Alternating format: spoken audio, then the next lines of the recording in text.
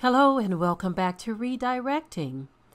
This story that I'm about to share with you, I believe, is so miraculous. It kind of reminds me of a lot of the uh, short clips that people have been sharing across the internet where uh, individuals around the world are having brushes with death and they are uh, beating death. And it's not that they're beating death, the Most High is having mercy. And some of these things are so tripped out that you you say to yourself, "Wow, how did this person even survive?" right?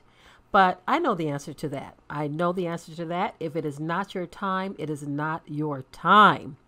So I'm going to share this story of this young man. He is a FedEx driver and he survives a 75 foot fall off of a highway bridge. A highway bridge. Anyway, I'm going to show the video and I will be right back. This picture taken by rescue workers shows where Jeremiah Cribb landed after falling 75 feet from the Yadkin River Bridge. I keep having flashbacks. I'm not supposed to be here right now. On the phone from the hospital, Cribb told me he was on 85 North early this morning making a delivery for FedEx when he noticed a car stalled in the fast lane.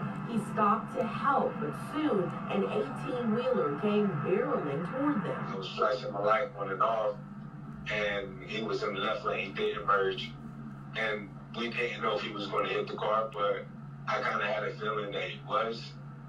And he went and he smashed into the car. But before that happened, Cribb had already jumped over the median. I kind of laid there because I was afraid my, my back was broke. Something really bad happened. He thought that he was jumping into a grass median, that it was at the same height. Salisbury Fire Battalion Chief Nicholas Martin was one of the emergency responders. In this picture, you can see another one, firefighter Jacob Vodachowski, rappelling down with a medical bag. I gave him a little pinch on the leg because the way he was laying there looked like he might have been paralyzed from that great of a fall. Despite some dizziness and shortness of breath, Cribb was in such good shape, they were able to stand him up and rappel him back up to the bridge. And to be honest, that's that's entirely miraculous. I words can't describe it. I mean, I can't. I can't really. I mean, I'm still trying to wrap my head around it. Miraculous. Isn't this amazing? These are the kind of things that make you say, look at Yah. Now, a lot of you don't believe in Yah. You don't even like me talking about him. But hey, this is one of those things right here that makes me say, you better wake up and recognize because this man, even from his own admission, says that he shouldn't be here. Although that's a false statement, he should be here, which is why he is here. What he should have said is, Thank the Most High that I am here because apparently some angels must have broken his fall because that is a long way to fall and to hit that hard to the point where he thought he may have been paralyzed from the impact, from the fall. And so that's why I say, look at Yah. For those of you who just don't believe, maybe you should recognize that there is a creator and life and death is within his hands, right?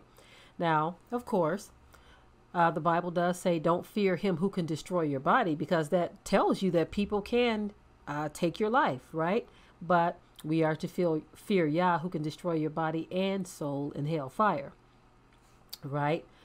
So, in looking at this story, I want those of you who don't believe to understand that our Creator does exist. And if it's not your time, it's not your time, right? It obviously wasn't this young man's time. Uh, he probably felt like that was the end of him as he was falling. But when he laid there and he realized, hey, I'm still alive, and then he was able to get up and walk away with just minor injuries. Utterly amazing. Utterly amazing. And I say to that, to Yah be the glory. To Yah be the glory. Yes, there were rescue workers who came down there and lifted him up out of that place. But why is he still alive? Why was he not taken away from here? Why was the impact from that fall not great enough to kill him? Now, I understand that there are people who have survived falls like this before, but there are people who fall from shorter distances who do not survive. So again, wake up and recognize that the Most High is good. Yes, He is.